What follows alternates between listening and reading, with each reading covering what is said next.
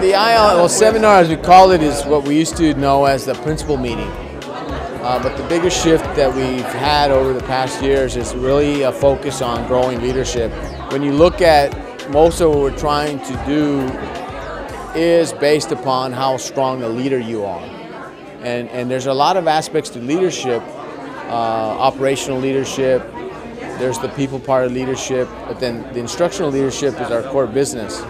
So we really count on our principals and their, and their leadership team uh, to drive instruction. So when we bring principals together, uh, we, we take leadership concepts and we develop them uh, to ensure that as a leader they're growing and as a team of leaders that we're growing. And today we're using the, the attributes and connecting them to leadership and trying to say, well, how do we serve as exemplars with the IB attributes and how do we make that connection to a practical day-to-day application. So we're just not talking about the attributes, but how does that, how do these attributes uh, look like in a principal and a leadership team? So that's what we're doing today and we're, we're, we're making the connection also to the instructional rounds to have now instructional rounds for leadership. We want our, our staff and our principals and our leadership teams to constantly be growing and that's what we're working on today. My name is Abner Mitchell, and I'm a sixth grader at Cathey Middle School. My name is Levin George. And I'm Sofia Nino. And we're sixth graders from Cathey Middle School. My name's Gabriella. My name's Jillian. And we're both sixth graders at Cathey Middle School. In Miss Boone's class. Hello, my name is Daniel, and I'm a sixth grader at Cathey Middle School. And at Design, we built robots. This six weeks, we've been working on a robot made out of Legos and that we can program to the computer. At first, we thought it was going to be pretty difficult because um, I've honestly never really worked with Legos before. It actually turned out to be um, really fun. Well, the process was first building the base of the robot and then we started programming it to the computer so that it can move 12, 24, and 36 inches.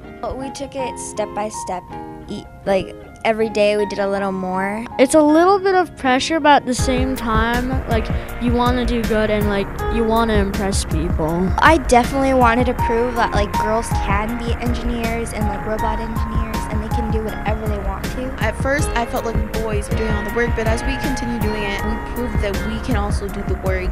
My favorite part of this project was learning how to program the robot to do fun stuff. We learned how to make it move, do anything we want. The first time when we saw the, the robot in motion, we got scared because we were like, how did this thing move?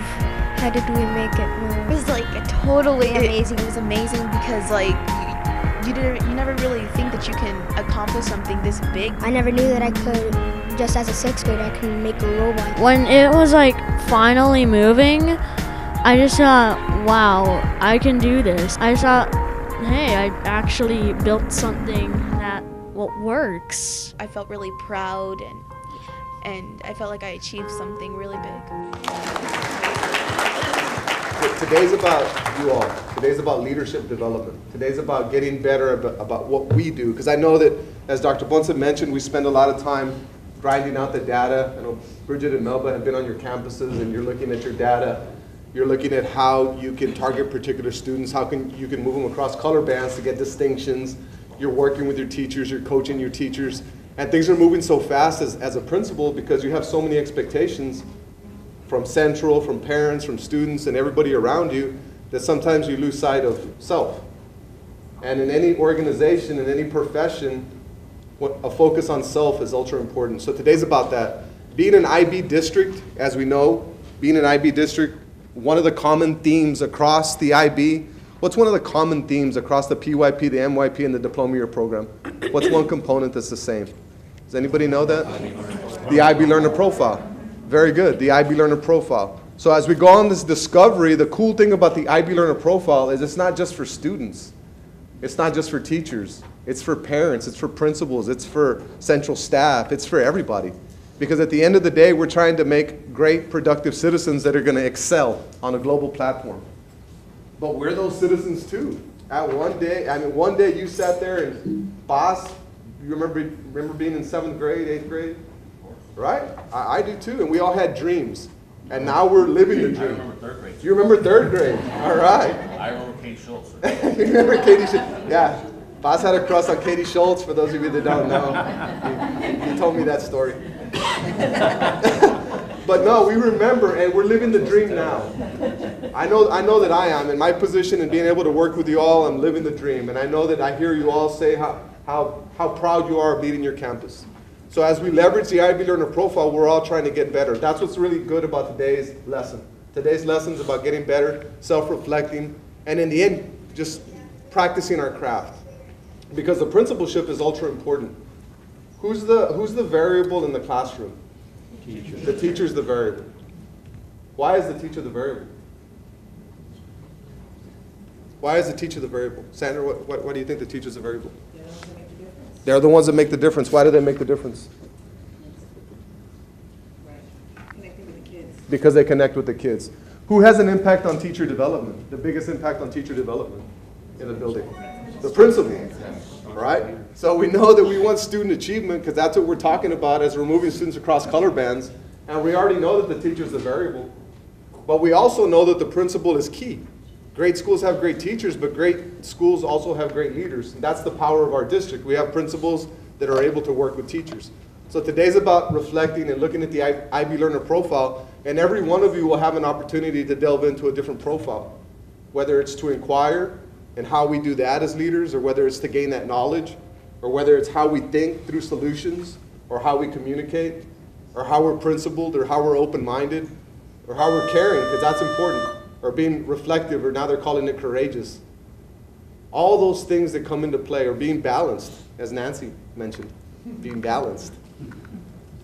All those things are important, so we're going to go on, on that journey. Kindness. It's the state or quality of being kind. And it's through this idea our council decided to go reach our world. Our student council decided that a way to reach out to the people around us was through kindness. And so what we're doing is little small acts of kindness for students and teachers um, to brighten their day and put a smile on their face because ultimately what we hope will happen is that when they get a smile put on their face and their day is made a little bit better, that they'll go out and do a kind act for someone else. And so it'll be like this snowball effect of everybody just being nice and maybe it'll last longer than just the week. Kindness is a language in which the deaf can hear and the blind can see. So how we started off Kindness Week, it we put different banners and posters just with different kindness quotes and kindness sentences. Uh, we also used banners and uh, flyers to promote our Spirit Week. And we also did, we involved different classes, like the freshman transition classes. They were passing out different pencils, giving free hugs, just putting different papers around the schools, just to bring up the good side of our, our students, just bringing out the kind side of them, giving out a smile, just kind of make them be nicer to each other.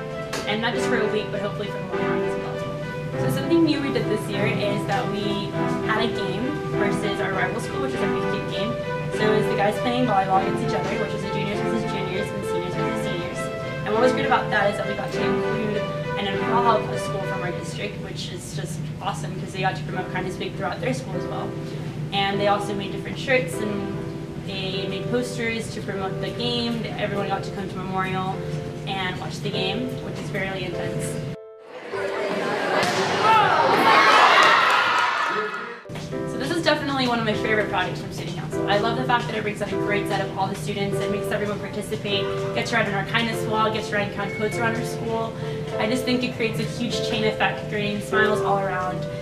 Like Student Council really believes in this project, obviously, because we try to do it every year. We believe every person that does one good thing will set a chain effect that causes us to grow. So let's go reach our world through kindness.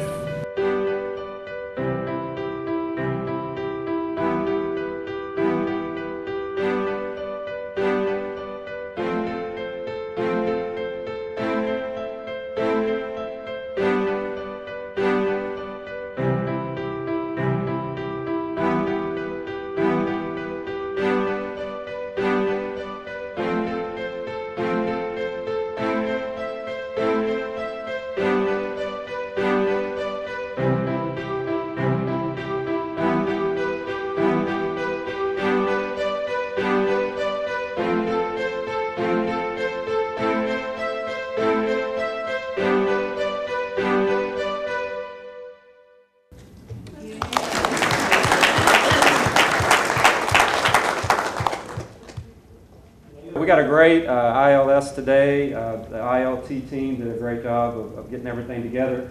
What we're going to do today, first of all, is I want you to assign a materials person in your groups. We got 10 groups. I think everybody's in the correct group. Assign one materials person right now. What is an inquiring instructional leader? What is a caring instructional leader? And on your paper chart presentation, you have full reign of what you want to do. You want to do pictures, you want to do bullets, however you want to describe what an instructional leader that is a communicator would be. So anything that you want to say there and focus on that. Uh, anybody like your balance? What would a balanced instructional leader be? What would those characteristics be? What would you want to see? What, uh, what would the community want to see? And so forth. So look at that, develop that. You're going to have 10 to 12 minutes to develop that. And then there's going to be one presenter from each group. So establish who the presenter is going to be, the mini expert on that. Once you are finished, after the 10 to 12 minutes, you have everything written on your uh, paper chart. I believe there's tape in these boxes. There's all kinds of markers and so forth. I want you to hang up your IB Learner Profile poster somewhere in the room because we're going to be doing a gallery walk. So kind of spread out. We see kind of columns here. We got some here, here. We already got an easel here. We got a couple here. That way we have a little bit of room. And so just develop that. No, you, as you see, there's a lot of interaction. We also try to model that uh, there's just a lecture. We, we, try to model all the, the, the, learning strategies that we're wanting to see in our classroom so we can remind uh, each other what, what it should look like on a day-to-day basis and that we're also practitioners so that when we're in front of our, our own staff uh, at the campuses, we're modeling what we want to see so that they also see that we're learners and that we have different modalities and we approach learning much the same way uh, that we want them to approach learning. The activity that we're working on right now is based around our leadership style and how it connects with the IB Learner profile. So, uh, for example, in our group, we're talking about being good communicators, and as a group, we're deciding on how that visually looks and how we represent it um, in order to use that those skills to be a better leader. We have several principals sitting at our group, so we all talked about it. We all looked at what it means to be a good communicator, and to be a good communicator, you should be able to speak in several different languages. You also need to be a, a good listener, so you need to be able to listen to different people's perspectives. So as we looked at what it really meant, we discussed all the principals together. We all discussed how we could visually represent that, so that we could um, be better listeners, better communicators. In this business of education, it's lifetime a lifetime learner is who we are and what we do. It's, it's a great day. It's one of the uh, best days of the month that we look forward to when we come to these seminars as principals getting together. And it's a very powerful way uh, that our superintendent is engaging us as leaders in McAllen ISD.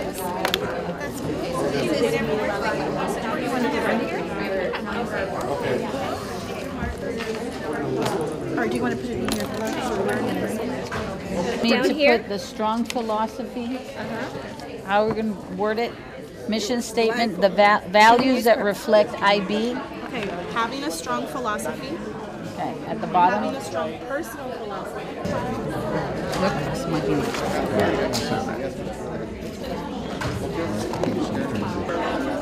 All right, a couple more minutes, a couple more. Finish up and post your. Uh, are we gonna place it up there? I'm gonna be like here. I'll be like, can't wait to go back. It was worth it.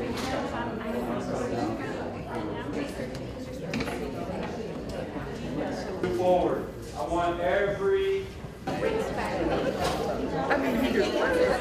Gets right because that's the only way that we will be able to go into personal development. And of course, in order to, to develop ourselves, we have to have. It is important for leaders to understand the IB learner profile and the attributes. There are 10 attributes, as you well see. We are rotating through each one of the attributes, learning to be balanced, principled, reflective, caring, communicator, etc. And through those, we will be able to reflect on ourselves as leaders leading different campuses across our district and making a difference from a leadership perspective. when we are, are engaged in the business of education and we make a difference in a child's life and they come back and express that to us, that's the reward that we get for being in this business of education. Our schools are institutions that serve the community. So what we do on campus is actually an extension of the community. So when we educate our children to the highest level that we can, it will impact our community in a very positive way. We got to be able to delegate to other people some of that balance as well. We also got to take care of our physical, nutritional, empathy. That's who we are in that sense. When we have problems, we know we've got the manpower behind them to make it happen. So they all mesh in together. That's the word. To be open-minded, you need to have right. Sisterhood, like you, West, you know, Western schools have, and they're doing mm-hmm. amazing global, like really solving One minute. Stops. What? And with that. And with Okay. Oh, yeah. What do you? How, do you want to group them? See how we want to group? Do we communicate as administrators? There's various ways. First of all, we need to be good listeners to different perspectives, different languages, different different points of view. We need to, it's all about being a servant leader and showing compassion towards our staff. And when we model that, the whole school ends up reflecting on that and becoming caring themselves. Those resources to give them and making them high qualified personnel. And it really, I mean, evaluations was All right, the things you provide. Uh, we're looking at the 10 IB learner profile attributes uh, that our students and our teachers get, but we wanted to take that to the next level and make sure that our instructional leaders uh, were very aware of the IB learner profile attributes and can take their game to another level. So what they're doing now is a gallery walk, and what the gallery walk is is uh, they became many experts in their attribute, and now they're presenting to all the other principals. So they're going to go through 10 different stations. Uh, they're going to present for about three minutes, and before they presented, there was a group that got together and looked at that IB learner profile attribute, and they dialogued on what an instructional leader would be as a, in, in connection to those IB learner profile attributes. So if we're talking about IB, are we leading and living IB as an instructional leader? And that's what we want to kind of calibrate today and just take our game as instructional leaders to the next level. ¿Quién soy yo? Yo soy el resultado del esfuerzo de la comunidad. Soy el resultado de exploraciones académicas, en la biblioteca, en el salón, con la tecnología, en ciencias. Soy el producto de una gran línea de maestros profesionales de ayer y hoy. ¿Quién soy? Soy el futuro y el futuro es hoy. Ven y celebra las escuelas públicas de Texas, porque todo es importante. This is Seguin Elementary, one of many great Texas public schools where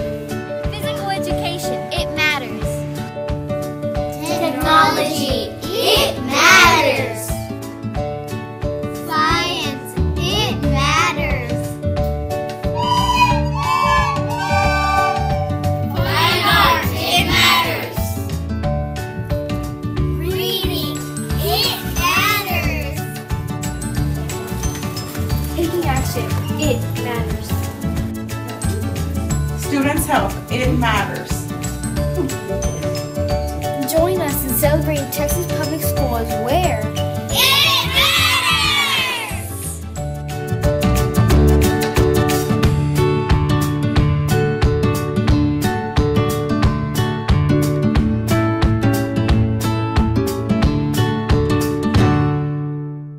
Relationships, they matter. The better relationships you have, no matter if you're a teacher, on the court, or in class, the better your learning experience will be. You need to be able to work together as one, not only in school, but in life. Connections formed at school can create a positive learning environment. Kids want to learn and expand their knowledge. Being compassionate and supportive is necessary every day. It matters. Celebrate Texas public schools. So we have 10 books that, that we're going to be presenting to the principals, and uh, they're going to look through those books. Most of the principals have read these books, and um, we're tying them back into the to the IB learner profile, which um, helps us realize that, that we are not doing anything new, but just tying it back to to um, what we what we're doing, you know, as as a district and uh, some of them are motivational books. Some of them are, are books uh, that deal with through curriculum. But uh, the ultimate goal today would, would be to uh, correlate those books to the IB learner profile and and um, and try to see where they fit in and how we are going to bring those in, so that um, for our staff it doesn't seem like like we're uh, um, adding more to the plate, but enhancing what we already have. And I, I think l- listening to my colleagues uh, has helped us, you know, reflect on some of the things that we're doing and, and uh, try to change some, some things uh, for the future. Uh, you could see our, our influence across across the community, and, and you want to be a, a positive member and contributor uh, to the community, and, and it, is. It's proud uh, to see that our leaders take take their job very seriously and they know what's at stake. And as, as we've always said, we, we, we have our, our greatest asset, which is which is all the students, and, and we take that very seriously.